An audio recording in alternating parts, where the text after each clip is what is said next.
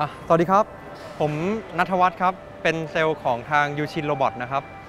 Yushin robot ก็คือ robot ที่ใช้ในอุตสาหกรรมพลาสติก แล้วก็หลักๆ เราจะมี robot อยู่ประมาณ 3 ประเภท อย่างประเภทแรกจะเป็น swing robot ประเภทที่ 2 จะเป็น pneumatic แล้วประเภทที่ 3 ก็คือตัว servo robot หรือว่าอย่างที่เห็นโชว์ในปัจจุบันนะครับ อย่างการทำงานของตัว servo robot เนี่ยจะหลักการทำงานง่ายๆครับ ก็คือต้องทำงานกับเครื่องฉีดพลาสติกเท่านั้น แล้วก็หลักการทำงานของโรบอทหรืออีกที่หนึ่งเขาจะเรียกกันว่าเป็นแขนกล หรือว่าแขนกลอัตโนมัติ ในการหยิบชิ้นงานออกมาจากตัวแม่พิมพ์หรือว่าโมนนะครับ